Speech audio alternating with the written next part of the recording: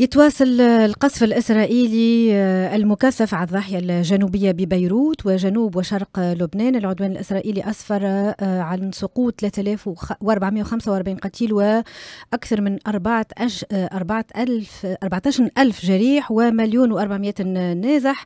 ضيفنا معنا مباشرة من بيروت الدكتور راغب جابر الأستاذ المحاضر بجامعة الإعلام بلبنان. مرحبا بك. أهلا أهلا بك. شكرا لك على قبول الدعوة. يعني سنبدأ معك من آه، مقال آه، لك مؤخرا في جريدة النهار العربي مقال مهم جدا. جاء بعنوان أبعد من غزة بكثير واللي من خلاله يعني في آه، تحليل وقراءة منك للحرب في غزة وفي لبنان. تعتبر أنه اليوم اتضحت الصورة يوما بعد يوم. يعني هي ليست حرب لاقتلاع حماس من غزة ولا لإبعاد حزب الله من عن الحدود وإعادة سكان المستوطنات الشمالية هي حرب آه، يعني أكبر من ذلك بكثير كيف ذلك؟ طبعا آه، بالاستناد إلى مجريات الحرب آه، الدائرة والتصريحات الإسرائيلية الأخيرة سواء من المتطرفين بتسلئيل اسمه تريد شو إتمار بن غفير والتي دعمها بقوة رئيس الوزراء بنيامين نتنياهو. يبدو أن المخطط الإسرائيلي لن يكتفي آه، بغزة بل هو آه، يستثمر التطورات الأخيرة وخصوصا مجيء آه، دونالد ترامب إلى الرئاسة الأمريكية لفرض مشروع كان يتم الحديث عنه في أوقات متكررة. ونحن لا ننسى أن ترامب في ولايته السابقة كان يزمع عقد صفقة كبرى في المنطقة وهذه الصفقة آه، تنهي القضية الفلسطينية. غزة هي جزء آه، من الحالة الفلسطينية في فلسطين المحتلة. إنما الثقل الأساسي للسكان الذي يتجاوز الثلاثة ملايين نسمة هو في الضفة الغربية التي تسميها إسرائيل يهودا والسامرة وهي يعني في قلب الرواية التاريخية الإسرائيلية اليهودية الصهيونية آه، المزيفة المزعومة. طبعا هم يهتمون بالضفة الغربية أكثر آه، من غزة. يمكن أن يتخلوا عن غزة لكن حلمهم دائما هو الضفة الغربية. نعم. آه، طبعا ونستذكر جميعا قول آه، دونالد ترامب أن أرض إسرائيل ضيقة عليها. طبعا أنا أعتقد أن المخطط المقبل إسرائيل تعتمد سياسة القدم. خطوة خطوة. المرحلة المقبلة ستتوجه إسرائيل إلى الضفة الغربية. طبعا يبدأ المشروع الإسرائيلي بتجزئة الضفة وزرع المستوطنات وتقطيع أوصالها بحيث يصعب آه، تواصل المدن والقرى والمخيمات الفلسطينية بعضها آه، ببعض. عندئذ آه، ستكون السلطة لإسرائيل. هذه مرحلة أولى. المخطط يقضي في المرحلة الثانية بعد تقطيع الأوصال والسيطرة على الضفة الغربية آه، وتقريبا إزالة السلطة الفلسطينية الضعيفة برئاسة محمود آه، عباس. ومن سيأتي بعده من نفس الطينة. سيكون هناك يعني طبعا هذا المخطط ينجح أو لا ينجح هذا أمر آه، آخر. يعني دكتور رغب جابر نفهم من ذلك أنه آه، مثل ما كتبت في هذا المقال أنه آه، هذا المخطط سابق آه، من حيث الاستغلال لأنه هناك يعني الحقيقة أريد أن أتوقف معك في هذه النقطة تحديدا لأنها خطيرة جدا. ذكرت في المقال قلت ما حصل في غزة كان مخطط له ليحصل إذا لم يكن في أكتوبر 2023 سيكون طبعا. في يوم آخر. لكن وأن إسرائيل كانت تعرف أن الانفجار آت. لا تدخل في حروب دون تخطيط لاستثمارها. سؤالي اليوم. إذا أحسنت استثمار إسرائيل هذه الحرب في غزة التي كانت يعني متأكدة أنها ستحصل. لكن هل تعتبر أنه حماس وحزب الله لم يحسن آه، تقدير أو آه، استثمار هذه الحرب؟ أو خاصة تقدير آه، ما ستؤول إليه هذه الحرب من نتائج على أرض الواقع وفيما يتعلق كذلك بمواقف الدول الأوروبية والعربية. طبعا السؤال إذا كانت حماس أحسنت أو لم تحسن التقدير هو سؤال آه، قد تجيب عنه الأيام المقبلة. لكن آه، إسرائيل دفعت حماس دفعا وتدفع حزب الله دفعا إلى هذه المواقف. كيف ذلك؟ لو لم تحصل لو لم تحصل عملية طوفان الأقصى كان سيحصل شيء, شيء آخر. نحن نعرف أن الفلسطينيين في غزة يعيشون تحت ضغط هائل. هناك حصار وهناك تجويع ولا وهناك إذلال وقهر للفلسطين يوميا. لا بد لهذا الشعب أن ينفجر يوما ما. حصلت عملية طوفان الأقصى نتيجة الضغط والقهر الإسرائيلي لهذا الشعب. لا يمكن لشعب محتل أرضه ويقيم على تخوم بلداته وقراه في مخيمات إلا أن ينفجر، إسرائيل تعرف ذلك، تعرف أن كل ممارساتها ستؤدي إلى هذا الانفجار، من هذا المنطلق أنا قلت أن لو لو لم تحصل عملية الطوفان كان سيحصل شيء ما. نعم. ليس في ذات التوقيت إنما في توقيت آخر. لا يمكن أن تستمر الحالة هكذا. وما حصل في غزة قد يحصل في الضفة الغربية.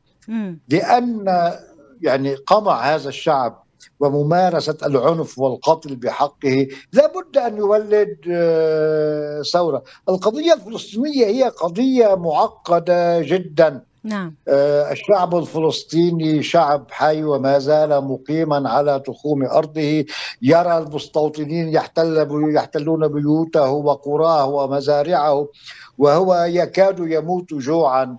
آه، ممنوع عليه العمل ممنوع عليه السفر ممنوع عليه إنشاء مطار ممنوع عليه إنشاء مرفأ. الشعب لابد أن ينفجر. مم. أي شعب في العالم يعيش معاناة الشعب الفلسطيني لابد أن ينفجر. وكذلك الأمر بالنسبة إلى لبنان إلى حزب الله. سنأتي إلى لبنان فيما يتعلق بحزب الله. لكن خلينا نختم معك فيما يتعلق بغزة. اليوم يعني بعد استهداف أبرز القيادات معناها التي قيادات حماس وفي ظل آه، تراجع قطر في مواصلة الوساطة وهناك حديث عن إغلاق كذلك لمكتب حماس بقطر رغم يعني عدم تأكيد هذا الخبر من عدمه. لكن اليوم هل تعتبر أن آه، يعني حركة حماس اليوم في موقف آه، يعني لا يسهل عليها أن تفاوض من موقع قوة؟ يعني لابد من الاعتراف بأن ما جرى في غزة من تهديم ودمار هو يعني عدوان خطير. نحن نرى أن غزة دمرت وأن حتى في لبنان هناك دمار هائل يكاد يوازي دمار غزة في مدة في مدة شهر آه، ونصف. طبعا اغتيال القيادات آه، وهذا الحجم من الدمار والحجم من المعاناة لابد أن يؤثر. نحن يعني يجب أن نعترف آه، بالواقع. الورقة التفاوضية لحماس وحتى لحزب الله آه، تضعف مع آه، استمرار العدوان وضرب المدنيين بشكل عنيف جدا. وأنا أقول أن حماس في غزة وحزب الله في لبنان مستفردين في هذه المعركة بلا دعم وبلا غطاء لا من الحلفاء ولا من الأصدقاء. يعني آه، كل ما يقدم للبنان ولغزة هو مجرد آه، بطانيات ومساعدات غذائية. الصورة قاتمة طبعا لكن في المقابل أنا أتابع يعني ردود فعل الناس الناس ما زالت مؤمنة بالصراع. يعني لم يستسلم أحد لم يستسلم أهل غزة رغم كل شيء لا يستسلمون. نعم. وفي لبنان آه، لا يستسلمون آه، بسهولة. طبعا آه، في اغتيال القيادات أمر يعني صعب جدا ويعني يؤدي إلى إضعاف. لكن أعتقد أن هناك قيادات بديلة. أعتقد أن على الأرض يعني على الأرض الناس التي تقاتل ما زالت موجودة. وأعتقد أن الشعب اللبناني والشعب الفلسطيني قادرين على إنتاج قيادات جديدة. طيب اذا ما هي توقعاتك دكتور راغب جابر فيما يتعلق بمسودة الاتفاق التسوية التي تحدث أو ربما سربت بعض عناصرها وسائل الإعلام الإسرائيلية؟ ألو لم لم أسمع السؤال. السؤال هو يتعلق بمسودة اتفاق التسوية التي آه، تحدثت عنها بعض وسائل الإعلام الإسرائيلية واللي نعطيه فكرة ربما عن مضمونها بصفة عامة. هو وضع خمسة ألف جندي لبناني بالمناطق الجنوبية للدولة تعهد من إسرائيل بعدم مهاجمة لبنان إعادة ترسيم الحدود البرية بين لبنان وإسرائيل. وهناك في انتظار يعني الرد اللبناني على هذا المقترح الأمريكي آه، والذي يعني مرتبط بالالتزام حزب الله بقرار مجلس الأمن 1701 اللي نعرفه أنه نزع السلاح عن حزب الله. ما هي حظوظ أو آه، هل ستتفاعل يعني الساحة اللبنانية على مستوى القيادة يعني لهذه آه، يعني قبول هذا الاتفاق؟ طبعا يعني ما عرفناه عن الاتفاق هو خطوط عريضة لكن لم تعلن تفاصيل الاتفاق حتى الآن. يعني لا أحد يعرف آه، إلا المعنيين بالأمر وهم قلة قليلة جدا.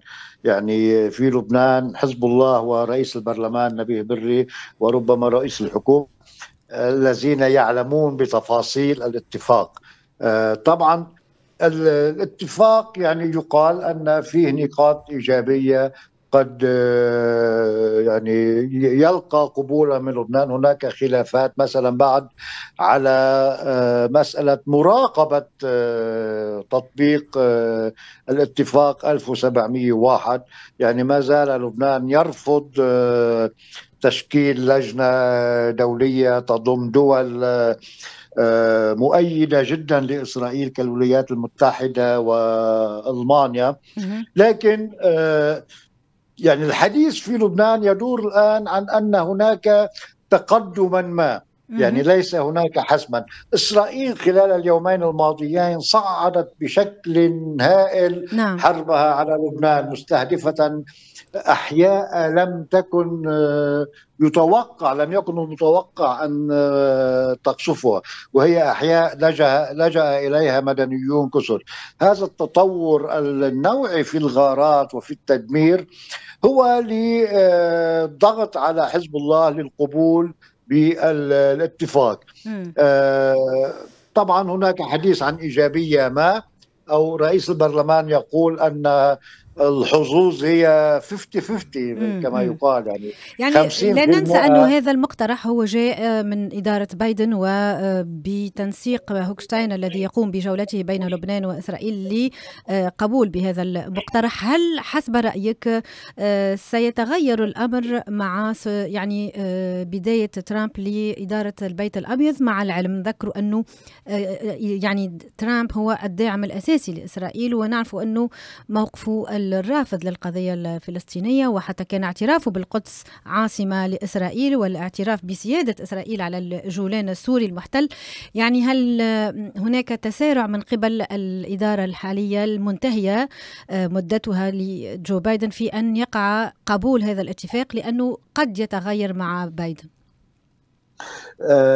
يعني هناك شيء ثابت وأكيد هو أن بايدن وترامب صهيونيان إسرائيليان حتى العظم. لا يختلف بايدن عن آه، ترامب. بايدن أتى إلى إسرائيل وقال أنا إسرائيلي صهيوني. وبايدن معروف أنه إسرائيلي آه، صهيوني. أنا لا أعتقد أن هناك خلافا بين بايدن وترامب على دعم إسرائيل. لكن يعني كما يقال ونسمع أن ترامب يفضل أن يأتي إلى الحكم وتكون إسرائيل حسمت المعركة. هو ليس رجل يعني يعني يريد الحل كيفما كان. هو ترامب نظريته أن, أن أضرب ضربتكم بقوة وأنهوها قبل أن آتي ليستثمر هذا الإنهاء مم. الذي تم. وهو متفق مع بايدن خلال لقائهما قبل يومين في البيت الأبيض آه، اتفقا على استمرار مهمة آه، عاموس آه، هوكشتاين لحل الأزمة أو وقف إطلاق النار. الرجلان بايدن وترامب برأيي متفقان في موضوع إنهاء الحرب بقوة والرجلان يدعمان إسرائيل بكل قوة، ليس هناك فرق بين إدارة ديمقراطية وإدارة جمهورية في أمريكا آه، في التعامل مع آه، إسرائيل، الإدارتان متفقتان. نعم. وقبل طيب هناك هناك يعني لاعب أو دولة مهمة جدا في تحديد نهاية هذه الحرب وهي إيران. نتذكر أن الولاية الأولى لدونالد ترامب استطاع من خلالها الضغط على طهران آه، والانسحاب من الاتفاق النووي وإعادة فرض العقوبات عليها آه، وصولا إلى اغتيال فيلق القدس في الحرس الثوري قاسم سليماني والذي كان فيما بعد نتائجه يعني تعميق إيران لعلاقاتها مع روسيا والصين وكوريا الشمالية ومؤخرا حتى تحسين العلاقات مع السعودية وأصبح لإيران دور إقليمي أهم. هل ستتغير سياسة ترامب مع إيران فيما يتعلق بالملف النووي وكذلك فيما يتعلق بإيران ودعمها لحزب الله وكذلك الدور الذي تقوم به إقليميا لضمان آه، أمن إسرائيل؟ اولا يعني لابد من القول ان أنه تبين أن قوة إيران العظيمة هي قوة خطابية أكثر منها قوة فعلية. آه، نحن الآن أمام مشهد يتغير، المسؤولون الإيرانيون يبدلون لهجتهم، الرئيس مسعود بزشكيان يكاد يعانق آه، المسؤولين الأمريكيين ويبدي محبته لهم. آه، آه، علي لارجاني كان بالأمس في بيروت وقال آه، كلاما مختلفا عن عن اللهجة التصعيدية والتهديدية الإيرانية السابقة. إيران تراجع حساباتها. أعتقد أن الضربة الإسرائيلية في إيران التي لم يعرف أو لم يعلن الكثير عنها كانت كانت موجعة. ورغم الحديث عن الرد لم نرى شيئا حتى الآن. أعتقد أن يعني الحرب الدائرة في المنطقة هي حرب ضد إيران. يعني حرب باعتبار إيران هي قائدة هذا المحور محور يعني ستتخلى عن مساندة أو يعني دعم حركات المقاومة في المنطقة. هي لن تتخلى ستجبر على التخلي. ربما تعقد إيران صفقة ربما تعقد إيران صفقة مع مع الغرب آه، من أجل برنامجها النووي. ربما يعني تتخلى عن الدعم بالسلاح يعني هناك ساحتان أو ثلاث ساحات لن تعود إيران قادرة على الإمساك بها. هي ساحة آه، فلسطين ساحة غزة وساحة سوريا وساحة لبنان. يعني أعتقد أن ربما تنال جائزة طرديه في العراق. آه، لكن أعتقد أن الحرب هي حرب تستهدف الحوثيين أيضا وتستهدف آه، حزب الله وحماس. وسوريا التي تنال يوميا نصيبها من من القصف والاعتداءات الإسرائيلية المتكررة. آه، سوريا المتعبة بحرب عشر سنوات مبدئيا خارج سياق المحور الممانع يعني لم تدخل الحرب لم تفعل شيئا والآن المطروح في ضوء الاتفاق الجديد الذي يتم الترويج له في لبنان. هي مجبرة على عدم السماح بمرور السلاح إلى حزب الله. وربما في فترة لاحقة ستضطر سوريا إلى الانفتاح على العالم العربي وتلبية شروطه بال بالتخلي عن هذا التحالف مع إيران. طيب. نختم معك بتعليقك عن موضوع السجين اللبناني في فرنسا منذ أربعين عاما في السجون الفرنسية آه، جورج عبد الله الذي أمر القضاء الفرنسي مؤخرا منذ يوم تقريبا بالإفراج عنه بعد أن قضى حكم ب 40 آه، سنة آه، بالمؤبد هو قضى منه 40 سنة. في كل مرة يتم اتخاذ قرار من قبل المحاكم الفرنسية بالإفراج عنه تستأنف النيابة العمومية المدعي العام الفرنسي أعلن أنه سيستأنف قرار المحكمة وكانت أعلنت عائلته أنها تخشى تدخلات سياسية لماذا دائما هناك ضغط في ملف جورج عبد الله من قبل يعني خاصة إسرائيل في هذه الشخصية بالذات؟ لا الضغط هو ليس ضغط إسرائيلي، الضغط يعني إسرائيلي أمريكي أكثر نعم. لأن جورج عبد الله محكوم ب بتهمة قتله آه، دبلوماسيا آه، دبلوماسيا امريكيا. فجورج إبراهيم عبد الله هناك ضغط أمريكي كبير لعدم إطلاق سراحه آه، امريكيا واسرائيليا لأن جورج إبراهيم عبد الله أصبح يعني أصبح رمزا آه، في لبنان. في لبنان وفي المنطقة. هو شخصية أعتقد لو أفرج عنها ستحدث يعني نهوضا كبيرا معنويا نهوضا معنويا كبيرا.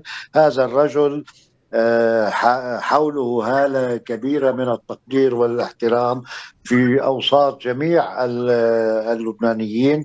آه، وأعتقد أنه حتى خارج لبنان في أوساط جميع العروبيين واليساريين العرب الذين يعتبرونه رمزا كبيرا آه، للنضال وهو نموذج الشخصية المظلومة.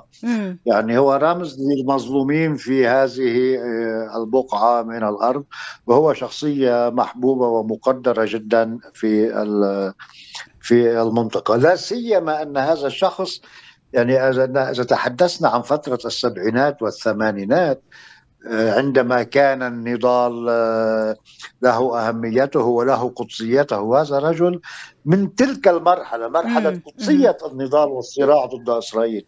فيخشون يعني خروجه اليوم س... اليوم سيؤكد ويحيي ال...